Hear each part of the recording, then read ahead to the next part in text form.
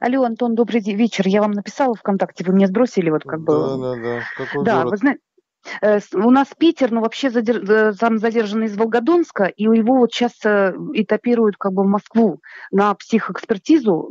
Вот. э, Ну, там больше политический заказ, вот как у нас у всех здесь Ну, сейчас. Это понятно. У него доверенность есть на кого-нибудь? Нет, никого нету. Ни на кого нету. В Москве э, не- есть? Да, сейчас поднимаем всех своих, кто есть в Москве, да, э, что-то нужно сделать, да?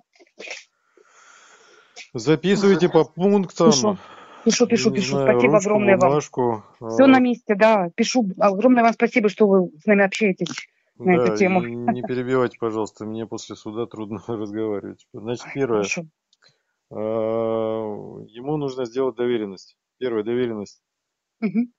А, на представление его интересов в судах и в разных инстанциях, в том числе знакомиться с административными, уголовными и э, какие там еще дела-то есть.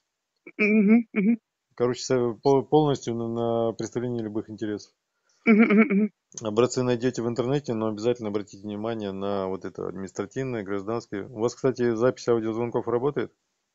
Э, Не знаю, я сама не включала ее. Как-то вот, если они не прослушивают, а так, в общем-то, сама не включала. Ну, не знаю, рядом телефон есть с диктофоном? А есть, сейчас, сейчас поставлю. Вот мне проще минуточку. голосом надиктовать. Хорошо, все, я писать не буду, да, сейчас минуточку одну только диктофон найду. Не, пишите параллельно, просто это быстрее усваивается. Так, сейчас, секундочку, я включу диктофон и сразу на громкую связь переведу. Так. Все, я перевела на громкую связь, ага, и пишу. И диктофон, да, работает? Да, и диктофон. Мгм. Значит, Пишем. первое, первое, что нужно сделать, это доверенность на представление интересов э, в любых судах, там МВД, в госорганах и так далее. Э, С правом, не знаю, передоверие или доверие, это уже от него зависит, как он сам, э, кому доверяет, кому нет. Э, Вот. Желательно на двух человек сделать, чтобы, ну, у нас так, так же было, мы на двух сделали, один потерялся, второй э, это действовал. Э, Значит, доверенность еще нужно обязательно указать э, с этим, с доступом к медицинской информации, как-то так звучит, Э, А, Какую информацию? к врачебной тайне, что-то такое. Мгм. Ну, найдете образцы в интернете, там это доверенность э, при поступлении в психушку. Мгм. Образцов много в интернете. Э, Они, они будут требовать вычеркнуть этот пункт, ни в коем случае не соглашайтесь. То есть э, дальше, если этот человек по доверенности будет обращаться, ему будет отказано ввиду того, что вся информация является врачебной тайной. Мгм. А если у него этот пункт будет, в том числе по врачебной тайне, то все, все нормально. То есть разглашение там каких-то медицинских э, историй, показаний, что-то такое, как так звучит. Мгм. Вот. А как это делается доверенность? Если он уже в психушке, его можно там застать. Значит, э, первые три дня держат э, в этой в палате для буйных, то есть э, ближе к посту. И за ним просто три дня наблюдает. Ничего страшного с ним, скорее всего, не случится. Ну, не знаю, смотря там как это, как обстановка.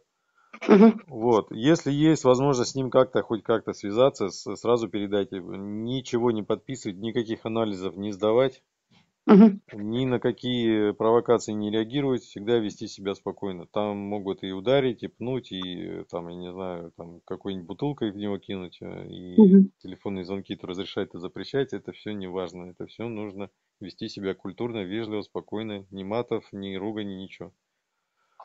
А, Так, э, сообщить ему, чтобы ничего не подписывал и никаких анализов не сдавал. Мгм. Вот. Если он что-то там подписал, его все равно туда уже можно вытащить, потому что, по-моему, закон о психиатрии называется. Там, по-моему, статья 4 или 5, там она коротенькая, она гласит о том, что если появится представитель, э, там ма- мама, папа, либо с доверенностью, то пациент, даже если ему назначили принудительное решение, э, лечение, а, не, если он сам добровольно подписал все документы, Мгм. То если появится представитель, то представитель вправе через главврача написать заявление о прекращении, об отказе от э, этого лечения, и его должны выпустить там, по-моему, в течение двух или трех дней, что-то такое. Мгм. Это один из способов. А Еще один способ, если дове- доступ к, к его телу нету, то есть нельзя ему там это передать доверенность, и он не может ее подписать. А, кстати, вот мож, можете распечатать доверенность, да, вот этот образец, и идете к главврачу и требуете свидания с, с ним. Угу. Если главврач отказывает, тогда через уполномоченного по правам человека, там, Москвы, Московской области, не знаю, где-то. Угу. Вызываете на место, говорите, что нарушаются права, принудительно увезли, угу. нет, нарушает, ну, требуйте немедленно явиться. И обеспечить свидание, звонки и это, передать доверенность передаете доверенность ему, он ее подписывает просто, э, вписывает там свои паспортные данные, если помнит, если не помнит, там это, ну, надо как-то выяснить это, там у родственников еще как-то. Угу. Вот, он это все прописывает, э, прописывает тот человек, которому он доверяет, и эта доверенность заверяется главврачом, круглой печатью и росписью. Он, у него угу. статус нотариуса. Угу. Вот, а вообще, то есть, и когда у вас будет эта доверенность, вы уже сможете писать во все инстанции от его имени, в том числе и получать доступ э, к врачебной тайне, там этот, э, в чем его вообще обвиняют, что ему вменяют, э, какая там экспертиза проводилась и так далее. Вообще, законодательство в России выглядит так.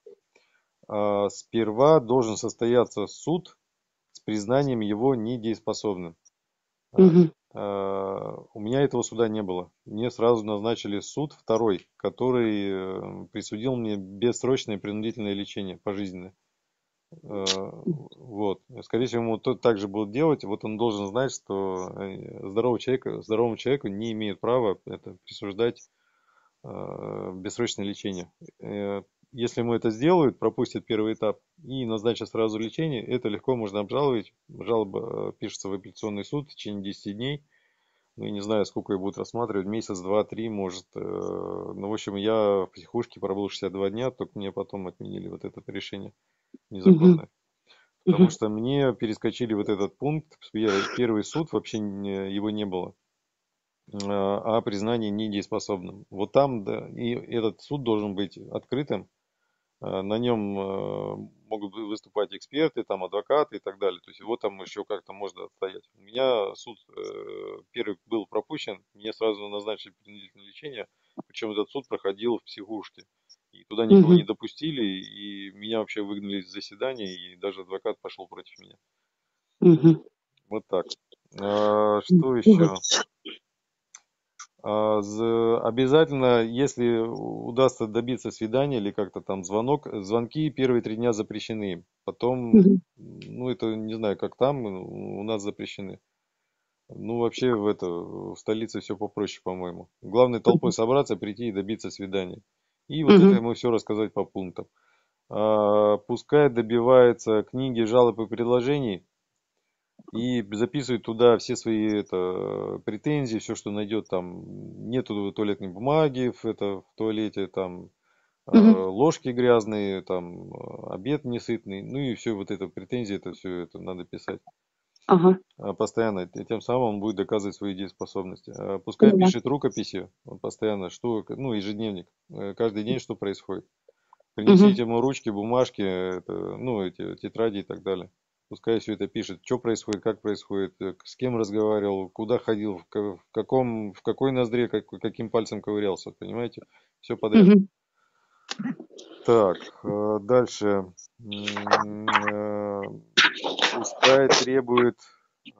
Так, звонки ему должны разрешить и свидание. Это, это вот после Э, первое, что вы, первое, что должны добиться, это свидание, ну, э, первая доверенность, потом свидание, потом звонки.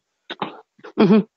Все это вместе, в принципе, должны разрешить. Обращайтесь к главврачу, если он не адекватный, невменяемый, тогда в этот уполномочен по правам человека и собирайте угу. толпу, ну, не знаю, делайте видеопоход.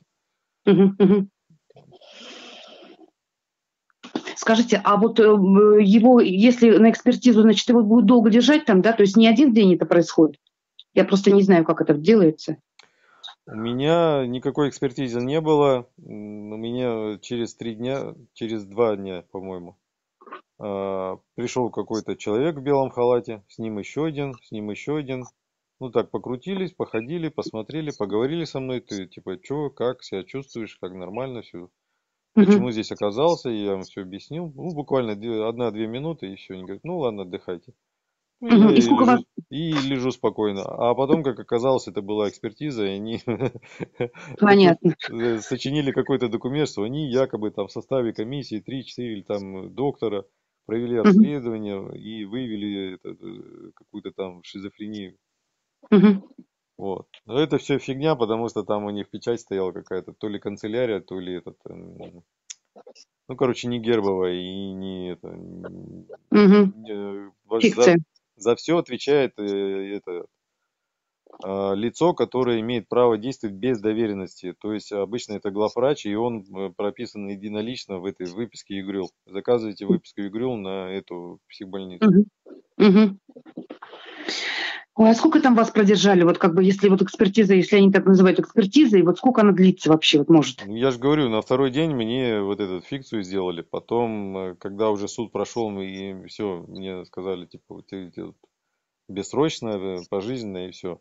Все, я, поняла. Я, угу. я сказал, нет, нифига, мне есть 10 э, дней на апелляцию. Я написал апелляцию, тут же им за это зафигачил. Там еще со свободы, ну, с воли угу. тоже люди апелляции написали. Угу. Вот. И где-то, не помню, то ли через 10, то ли через 15 дней, где-то так, они собрали большую комиссию, прям их человек, наверное, 20 или 30 было. Короче, все студенты, все врачи с города, профессор, и все писали на диктофоны, штуки три. Короче, угу. ну, как ценность собачьего сердца. Вот я сидел там, они, они все вокруг меня. Поняла. Да, и они меня всякие провокационные вопросы задавали, я им это все грамотно рассказывал, при этом я был на, на уже трое суток голодал, потому что мне не разрешали ни свидания, ни звонки, ни, ни передать доверенность.